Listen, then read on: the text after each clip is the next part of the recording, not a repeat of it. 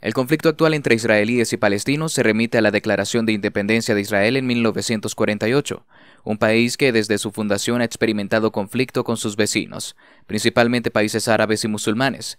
Se trata de un conflicto que nació en el siglo pasado, pero que ha estado latente durante décadas y parece no tener un fin a la vista.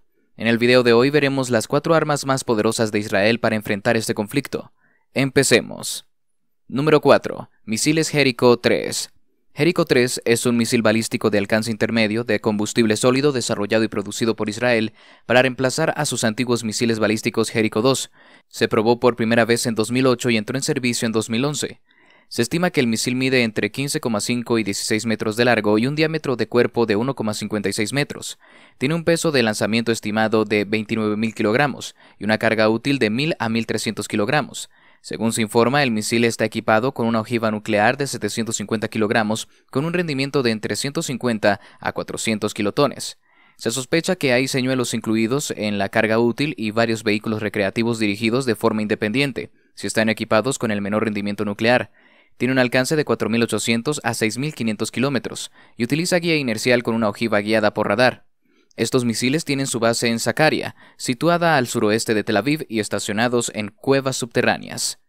Número 3. Misil Harrow 3. El Harrow 3 fue desarrollado conjuntamente entre Israel y Estados Unidos a raíz de la Guerra del Golfo en 1991, en la que Israel fue alcanzado por 39 misiles Scud disparados por Irak. Ambos países acordaron desde entonces poner en marcha un sistema de defensa aérea que fuera capaz de neutralizar proyectiles a una distancia segura. El Harrow 3 es la tercera generación que consiste en un cohete interceptor de dos etapas con capacidad de alcanzar la exósfera, la capacidad superior de la atmósfera terrestre ubicada a más de 500 kilómetros de altitud.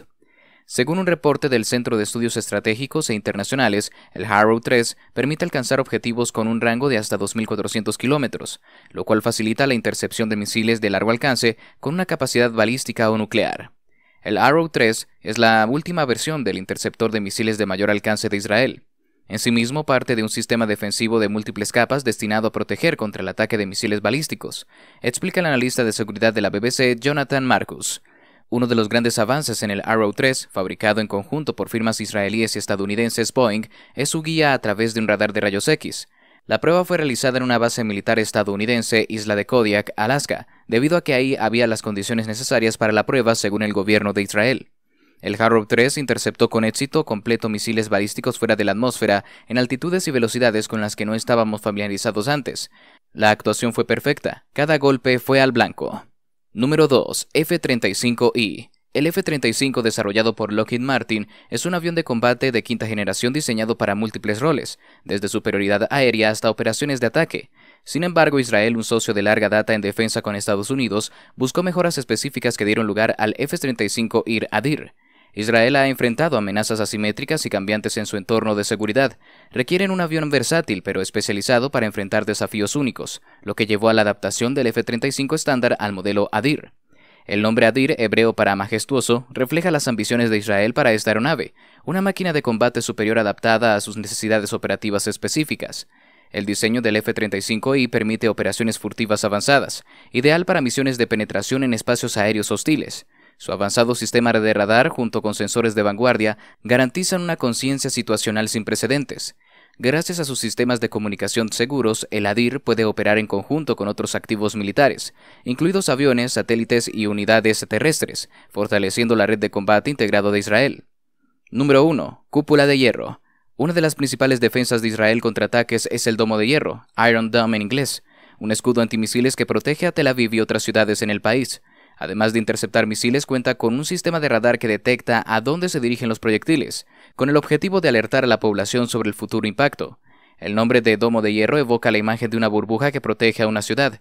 En la práctica, el sistema detecta misiles que son lanzados en un rango de 4 a 70 kilómetros y responde disparando un misil interceptor Tamir contra proyectiles entrantes que representan una amenaza para el área protegida. Estas áreas generales son sitios estratégicamente importantes, incluyendo lugares poblados. El sistema antimisiles cuenta con un radar, el cual detecta un misil entrante y transmite esta información al lugar amenazado, alertando a la población sobre la situación en curso. Esta alerta puede llegar a la población con hasta un minuto de anticipación. Sin embargo, en situaciones la alerta únicamente llega segundos antes del impacto. El domo de hierro está conformado por tres elementos, un radar de detección y seguimiento, un sistema de control de armas y gestión de batalla, y una unidad de disparo de misiles. El radar detecta el lanzamiento de un cohete y transmite información sobre su trayectoria al centro de control, que calcula el punto de impacto previsto, dijo el ejército israelí.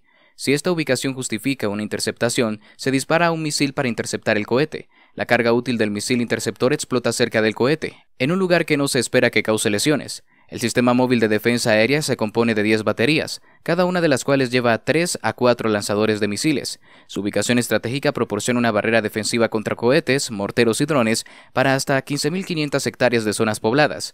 Israel se ha jactado en el pasado de que el domo de hierro tiene una tasa de éxito superior al 90%. Y bueno, garras, hemos llegado al final. No olvides de seguirnos y dejarnos un buen like.